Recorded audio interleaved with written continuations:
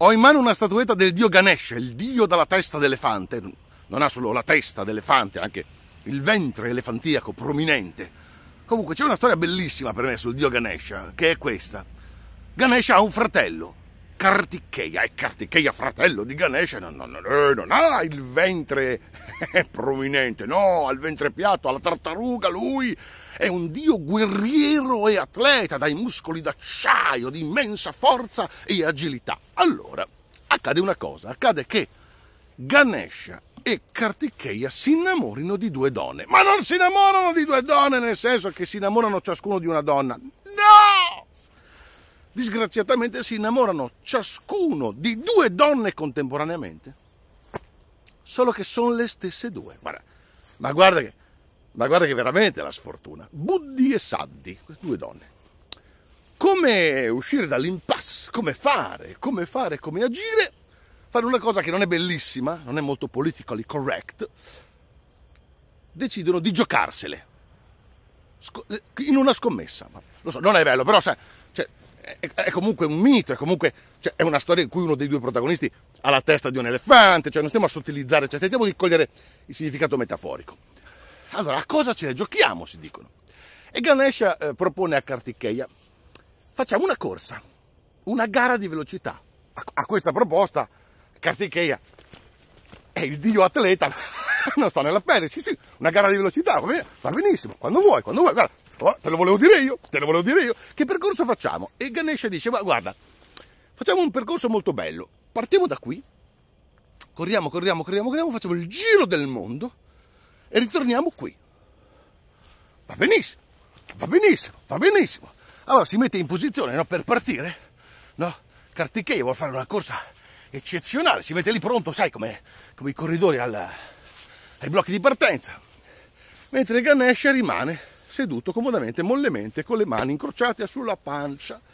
E Kartikeya gli fa, ma ma tu non parti? Sì, sì, sì, papà, sì, sì, sì, tu vai, tu vai, che poi io vedrai che ti raggiungo. Allora, insomma, tre 2, 1, via, parte, scatta come un razzo, Kartikeya corre più veloce che può con le sue gambe muscolose agili e forti, macina miglia e miglia e miglia e miglia e miglia e miglia, dopo un tempo lungo ma comunque incredibilmente breve rispetto al, al percorso, riesce a tornare al punto di partenza. Ha fatto la corsa e al punto di partenza trova, chi trova? Chi trova? Trova Ganesha seduto in terra con le mani incrociate sulla pancia, che lo guarda e gli fa, mi dispiace, come vedi, ho vinto io, sono arrivato prima di te.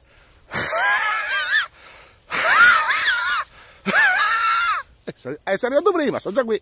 Come vedi, sono già qui, sono arrivato prima. Ma tu, ma tu non sei neanche partito. Sei stato seduto qui. Ma come, ma come non sono partito? Ma, ma veramente sei così malfidente? Ma, ma guarda... Ma, ma, guarda, ma è incredibile, ma, ma sei veramente malfidente. No, guarda, ti dimostro. Ti dimostro che io ho fatto il giro del mondo. Ho fatto tutto il giro. Ti spiego.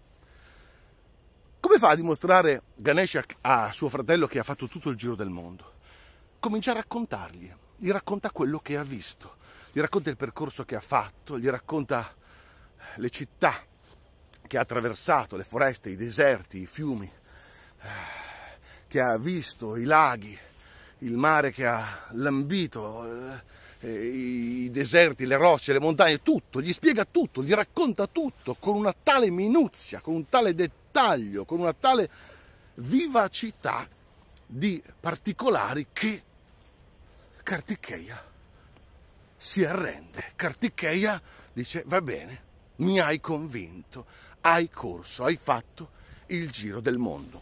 Ovviamente, qual è, qual è la verità nel mito? Qual è nel mito? La verità che Ganesha non si è mai alzato da terra, è rimasto tutto il tempo seduto con le mani sulla pancia. Ma come ha fatto allora a descrivere così bene il mondo? Perché nella mitologia indù Ganesha è il dio che ha letto tutti i libri, anzi che li ha studiati tutti, anzi che li conosce tutti a memoria. Fantastico. Ora qual è il senso di questo mito?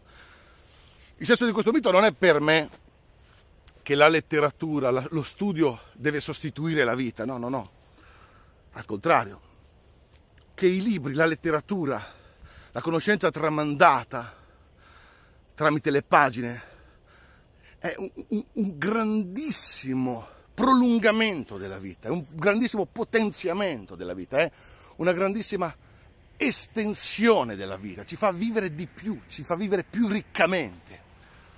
Eh, vi faccio un esempio personale, una piccolissima storia personale. Qualche estate fa ho trovato nella mansarda dove faccio i video un'ape, un insetto che io credevo fosse un'ape.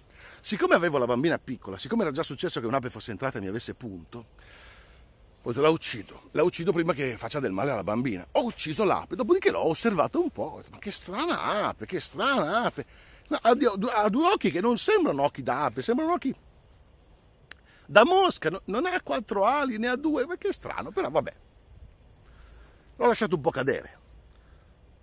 Poi dopo qualche tempo, settimane, mesi, non ricordo, incuriosito dal mondo degli insetti, mi sono messo un po' a studiarlo, ho letto qualche libro, ho letto qualche pagina sul web anche, e ho scoperto una cosa bellissima, che esiste nell'ordine dei ditteri un sottordine che è quello dei brachiceri, cioè delle mosche, detto, eh, di cui fa parte una famiglia che è la famiglia dei sirfidi. Cosa sono i sirfidi? Sono delle mosche, diciamo così, in parole povere, nere e gialle a strisce, che per un profano possono sembrare api, ma non sono api e sono le macchine volanti più perfette della natura. Sono in grado di fare il volo stazionario, sono in grado di volare all'indietro, in grado di volare di fianco. Insomma, una meraviglia. Adesso, quando io porto mia figlia a scuola, se è primavera, quando passiamo di fronte a una siepe che troviamo nel tragitto, a volte vedo dei sirfidi e glieli faccio vedere. Guarda, guarda Agata, i sirfidi sono le macchine volanti più perfette della natura. Perché io posso indicare i sirfidi a mia figlia, farglieli vedere, farla meravigliare di questo? Perché ho visto un sirfide in carne e ossa, in carne e ossa, non ha le ossa, vabbè, e l'ho ucciso? Eh, no, perché ho letto dei sirfidi. Cioè, quando, io, quando è che ho conosciuto i sirfidi io? quando ne ho letto e studiato o quando ne ho ucciso uno, faccia a faccia, faccia a faccia, no, la faccia, vabbè, ci siamo capiti. Non so se mi spiego, non so se mi spiego. Io credo che sia veramente una grandissima estensione della vita, la cultura, un grandissimo potenziamento della vita. Ma meglio di me, prima di me, l'ha detto Umberto Eco.